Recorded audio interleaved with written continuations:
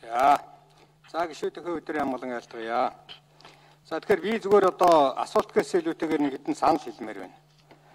Ямар санал гэхээр бол улаан сайда одоо та болно. Ерөн зүгээр бид нар ямыг бол зарчимтай шударга хийх хэрэгтэйгүй шударга хийх хэрэгтэй.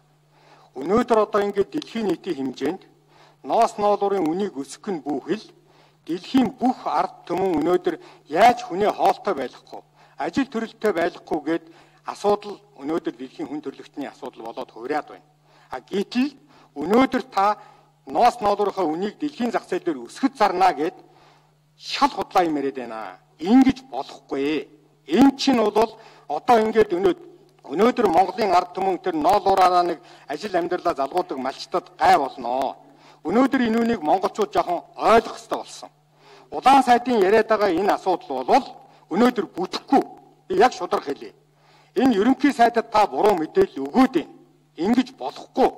Та жишээлх юм бол ноос ноолуур бэлтгэдэг 30 хувьд нь 300 тэрбум гаргаад үндэсний үйлдвэрлэгч нь наад зээлийг чинь авахгүй. Бид энийг дийлэхгүй гэдэг хад өөр маягаар энийг ноолуурыг авчаана гэж нэг цөөн хідэн аймагаас 105 дундж үнэн 105 хүрчээнэ гэдэг үлгэр ирээ сууж яана гэдэг чинь бол бид одоо монголчуудыг хуурч байна.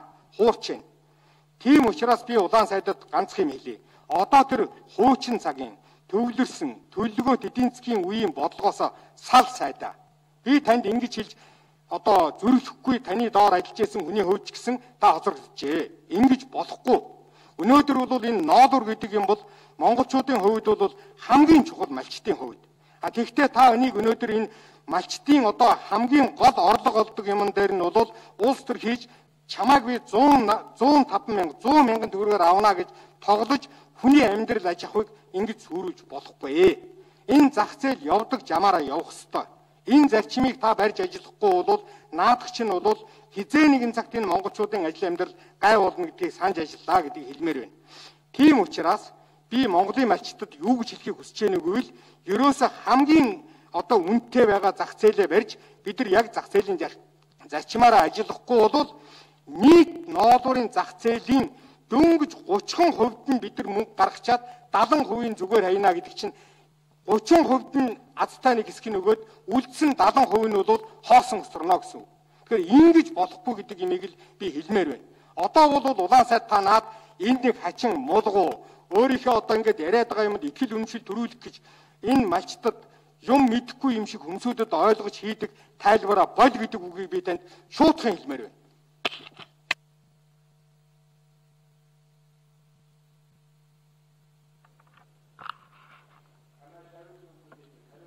За улаан сайд. За. За баярлалаа. Хаян хэрвээ гişүний хэлж байгаа саналыг сонслоо. За тэгээд Ер нь бол асуудалд бодиттой л хандах ёстой шүү дээ. Дэлхийн зах зээлийн үн манай ноолуурын 90-ээс 95%-ийг худалдаж авдаг хятадын зах зээлийн үн бидний одоо энэ үннээс 30-аас 40% өндөр байна. Өндөр байна. За бидний энэ тогтоосон үн одоо нэмэгдүүл тогтоосон үн биш шүү дээ. Нодны жилдээ харьцуулах юм бол 30%-аар доогуур бид нар тооцоо хийж байгаа юм. Энэ зах зээлийнхээ хямралыг одоо тооцож үзээд энэ хандлагын бас одоо ажиглахыг хичээгээд ингээд ийм ханшийн одоо мэдээлэл өгч байгаа юм. Хэрвээ ийм баримжаа болох ханшийн мэдээлэл өгөхгүй бол юу болох юм? Энэ малчид чинь мэдээлэлгүй учраас одоо очисон хүний аманд багтаад тэгээ одоо 20 мянган төгрөгөөр ноолоороо зарах уу? Би үл тийм байж таарахгүй гэж бодож байна. Тийм байж төрийн зохицуулттай зах зээлийг хэрэгжүүлнэ гэж заасан. Төрөөс зохицуулах үнэ нь бол хоёрхан үнэ байгаа жишээ бажмал ноолоор энэ стратегийн бүтээгдэхүүнгээ заасан. Тийм учраас бид нар дундаж болоод доод үнийн баримжааг ард иргэдэд зарлж байгаа юм. Тэгэхээр би энийгээ бол буруу гэж бодохгүй байна. Хаян хэрвээ гişүнэ. Бид бас одоо зөвхөн өнөөдрөөр амьдарч болохгүй ээ. Бид нар одоо дунд болоод урт хугацааны төлөвлөлтийг хийх учиртай. Харамсалтай нь одоо эдийн засгийн одоо бодлогыг төлөвлөдөг институт байхгүй болоод одоо 30 жил болчлоо л доо. Ийм учраас бид ингээд одоо өнөөдрийнхөө байдлаар асуудал хандаад байгаа юм аа.